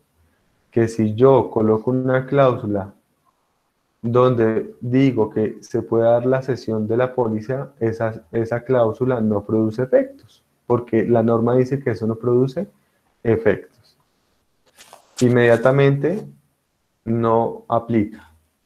670 dice, los títulos creados en contravención a lo dispuesto en el artículo anterior no producirán efectos. Es decir, la ineficacia a pleno derecho aplica porque la norma directamente está diciendo que ese enunciado, contradecirlo no produce efectos o se tiene por no escrito. Eso es ineficacia a pleno derecho. ¿Sí Entonces, recapitulo.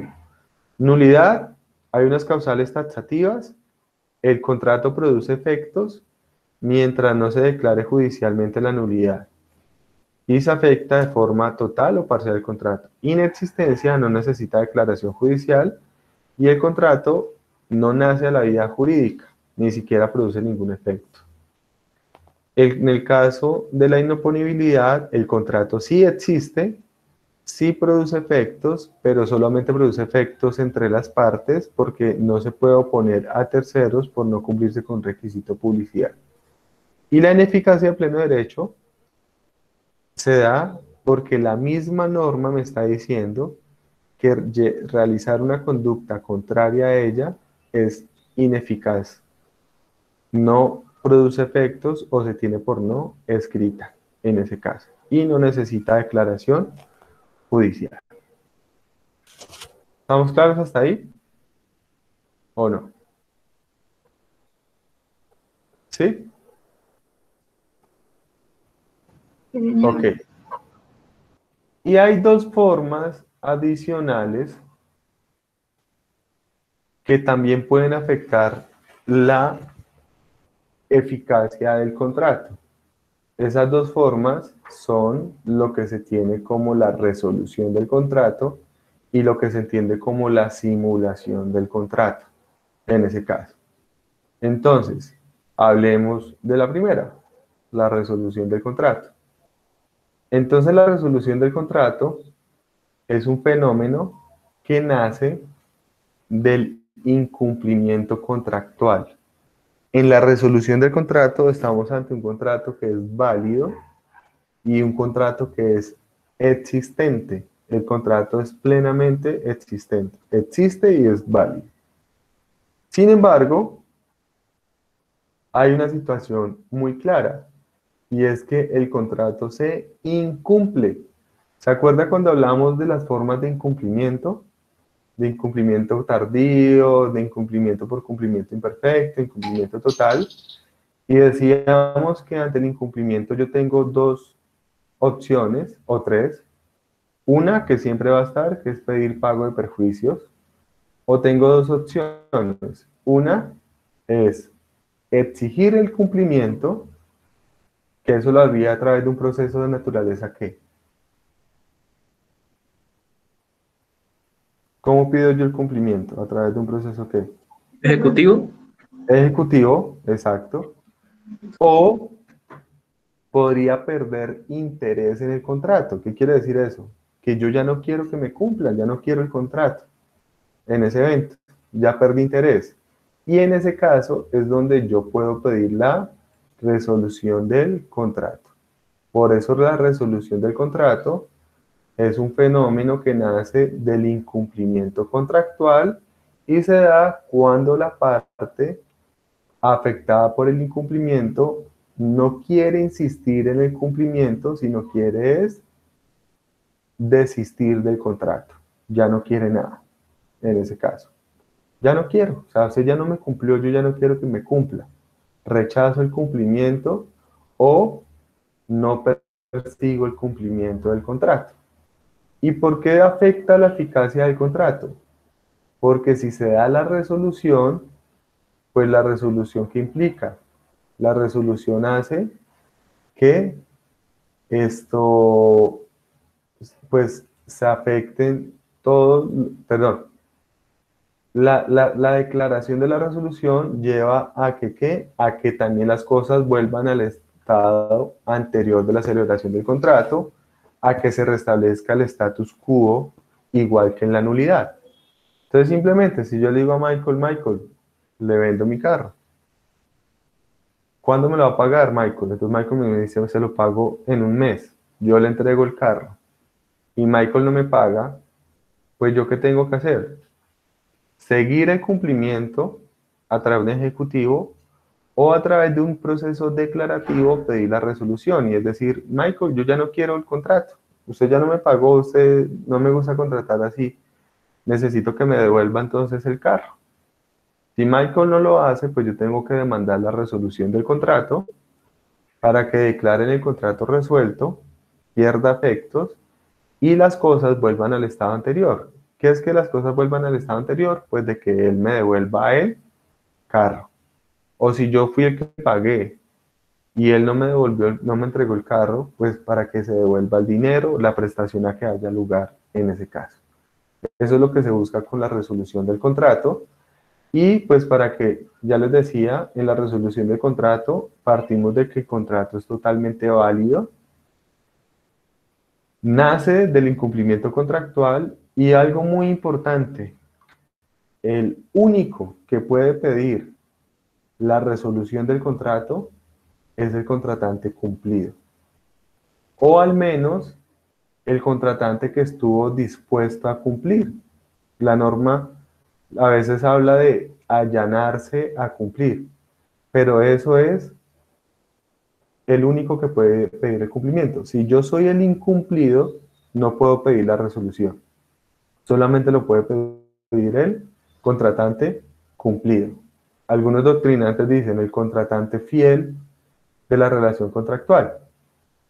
Y se requiere declaración judicial para que haya resolución del contrato en ese caso. ¿Estamos claros o no? Estos puntos, ojo, tienen que estar muy claros porque una de las preguntas que yo suelo hacer en el modular es decirles, ojo, ahí en ese caso, en ese caso el contrato es nulo, se puede resolver, es ineficaz, es inexistente, o les puedo preguntar y decirle qué tipo de ineficacia se da ahí en ese caso? Eso es una pregunta que yo suelo hacer en ese tipo de, de eventos. Y ustedes me tendrán que determinar si es inexistente, nulo, inoponible, ineficaz de pleno derecho, o hay una situación de resolución del contrato, en ese caso. O puede que yo les pregunte y les diga, en ese caso, en lugar de la ejecución del contrato, usted podría pedir otra cosa y que le estoy preguntando, pues de que me hable de la resolución del contrato. Esa es la forma en la que preguntaría uno en el módulo. Por eso tienen que tener eso muy interiorizado en ese evento. ¿Estoy claro hasta ahí con la resolución? ¿Sí? Listo. Y otra forma en la que se puede afectar la simulación del contrato, perdón, la simulación, la eficacia del contrato es con la simulación. Entonces la simulación, ¿qué es? ¿O en qué consiste la simulación? Cuando hablamos de la simulación, hablamos de que se celebra un contrato o un acto o un negocio jurídico aparente. Cuando hablamos de simulación es porque hay una apariencia. Cuando yo quiero hacer ver algo que en realidad no está pasando. Simulo algo, imito algo. Eso tiene en el fondo algo de, de mentira, algo de la simulación implica en el fondo esto, ocultar algo. Eso implica la simulación. Entonces, la simulación, por lo general, tiene como característica es que quienes celebran el negocio o el contrato son conscientes de la verdad y de lo que están aparentando. Y lógicamente eso se hace con la finalidad de engañar a un tercero. Entonces, si yo celebro el contrato y hay una simulación, es una situación plenamente consciente entre nosotros con la finalidad de engañar a un tercero. La simulación, por lo tanto, reitero, implica que yo aparento una situación que, que no es. Y esa apariencia, como les digo, puede afectar a un tercero. En la práctica, generalmente, la simulación se lleva a cabo con qué finalidad? La simulación se lleva a cabo con la finalidad de afectar a acreedores, por lo general, en ese evento. Y pues, ¿cómo se afectan a acreedores? Pues celebrando actos que aparentemente sacan de mi patrimonio un bien, para que ese bien no pueda ser perseguido por el acreedor. La simulación, como lo mencionaban hace un rato ustedes, está clasificada en dos tipos de simulación, en la simulación absoluta y en la simulación relativa. La simulación absoluta se da cuando qué? La simulación absoluta se da cuando yo creo la apariencia sobre todo. Todo es una mentira, todo es una farsa, dirían ustedes. Y realmente nunca hubo intención de celebrar ningún contrato. Todo es una apariencia, todo es una mentira, en ese caso. Eso es una simulación absoluta. Ejemplo, cuando yo le vendo un apartamento a mi hijo y resulta que realmente no hubo intención, no hubo intención de transferir la propiedad, no hubo venta, se registró todo aparentemente, pero en el fondo yo sigo siendo el dueño. Lo que pasa es que lo hice para sacarlo de mi patrimonio. Eso es una simulación absoluta en ese caso. Yo totalmente mentí. En cambio, la simulación relativa implica que la apariencia recaiga solamente sobre una parte del acto, contrato o negocio que se está celebrando. Es decir, es una mentira parcial. Parte de lo que se hace es verdad, pero parte de lo que se hace es mentira. Les pongo un ejemplo yo tengo la intención de regalarle a mi hijo un apartamento, o sea, de realizar un acto de donación, pero ¿qué sucede? Si yo le dono a mi hijo, eso va a tener un efecto en la sucesión, porque acuérdense que hay donaciones entre vivos y todas las cosas, que eso tiene afectación en la, en la, en la sucesión. O sea, puede afectar a mi hijo lo que pueda recibir en la sucesión. Entonces yo le digo, hagamos una cosa. Celebremos no una donación, sino una compra-venta. Es decir, realmente sí tengo la intención de transferirle la propiedad. Eso no es mentira. Realmente es a él. La apariencia que estamos creando en este caso es una apariencia frente a la clase de contrato, en el cual yo estoy mintiendo diciendo que es una compra-venta cuando la realidad es que es una donación. Ahí está la alteración de la realidad en ese evento. Es decir, que la simulación relativa puede darse porque yo simulo el tipo de contrato. Dos, la simulación puede ser relativa porque todo es verdad y lo que hay en yo le vendo a Michael pero mentiras que quien me está comprando no es Michael, sino es el papá de Michael. ¿Por qué no figura la venta a nombre del papá de Michael? Porque si la venta figurara a nombre del papá de Michael, ¿qué pasaría? Pues eso entra al patrimonio de- del papá de Michael y el papá de Michael no quiere tener ese bien dentro del patrimonio. De pronto por, por defraudar a acreedores. Entonces, en ese caso, lo que tenemos es que yo le estoy vendiendo aparentemente a Michael, pero realmente quien me está comprando es el papá de Michael. O sea, que el acto es verdadero, realmente yo estoy transfiriendo la propiedad, lo que estamos aparentando es quién me está recibiendo la propiedad en ese caso. Otro ejemplo, cuando yo le vendo en un valor y simulo el precio y hacemos aparecer la venta por un valor diferente, ahí habría una simulación. Y así sucesivamente se pueden dar casos de simulación relativa en ese evento. ¿Qué característica tiene la simulación relativa? Eh, también requiere declaración judicial. Es decir, si yo quiero que se declare simulado un acto, tengo que demandar para que el juez declare la simulación y para que el juez establezca cuál es la verdad en ese caso. ¿Cuál es la prueba más concurrida para demostrar la, la simulación?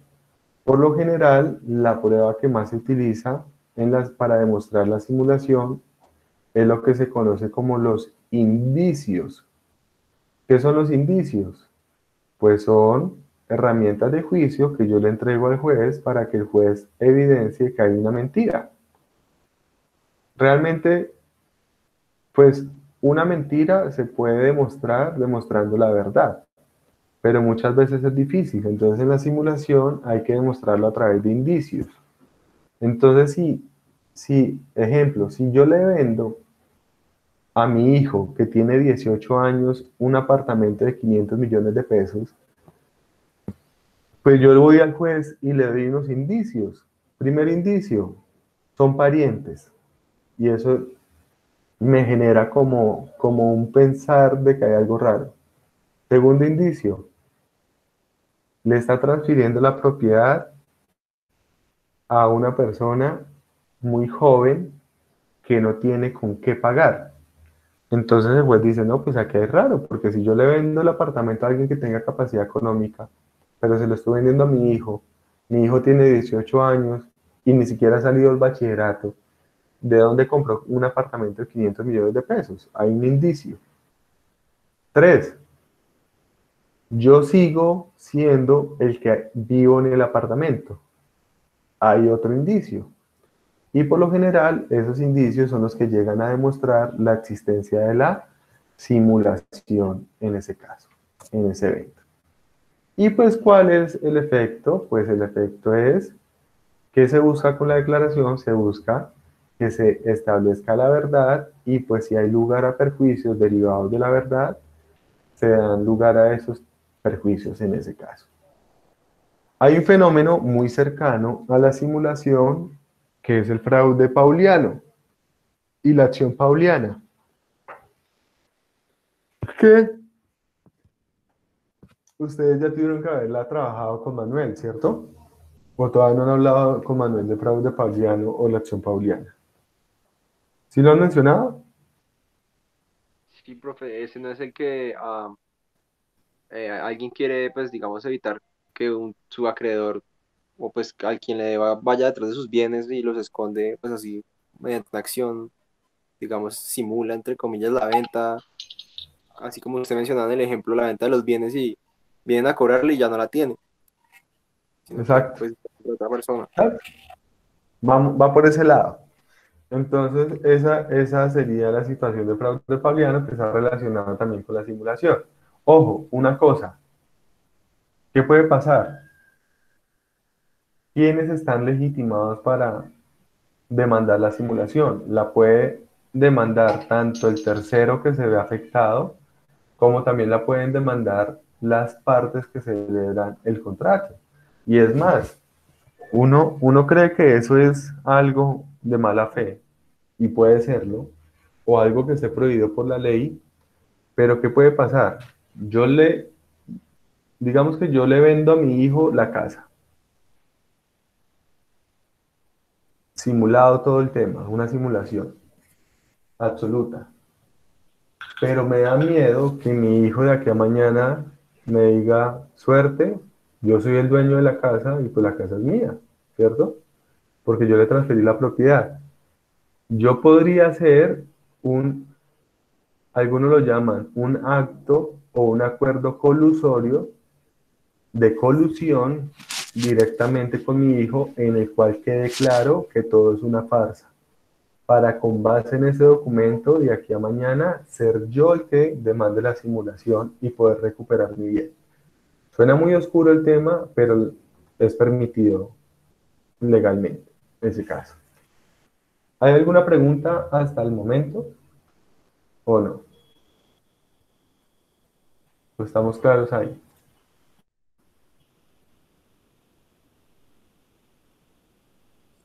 Sí, profe. Ok. Listo. Les voy a pedir un favor, que para la próxima clase, por favor, pues yo confío, ojalá sea así, que ustedes hayan venido leyendo las lecturas que yo les remití. Y para la próxima clase, yo creo que ya, bueno, ya, ya nos saltamos unas que yo no les mencioné, pero la 6, la 7 y la 8 y la 9 las podrían ir ya al- haberlas leído, que ya lo trabajamos. Y les voy a pedir que por favor me colaboren para la próxima clase leyendo la 11 y la 12, que tienen que ver con responsabilidad civil y pues por todo lo que vamos a hablar de lo que es el delito y el cuasi delito. Si, la, si las de las 6 a la 10 no la han leído, por favor leanlas, que son lecturas realmente cortas. Y lo que le van a, es a servir a ustedes demasiado, en ese caso. ¿Listo? Entonces yo creo que podemos dejar ahí. Listo, profe, gracias. Bueno, doctor, muchas gracias. Listo, doctor, luego, gracias. Gracias. ¿Vale? Gracias. Con gusto. Chao, doctor, gracias. Hasta luego, gracias.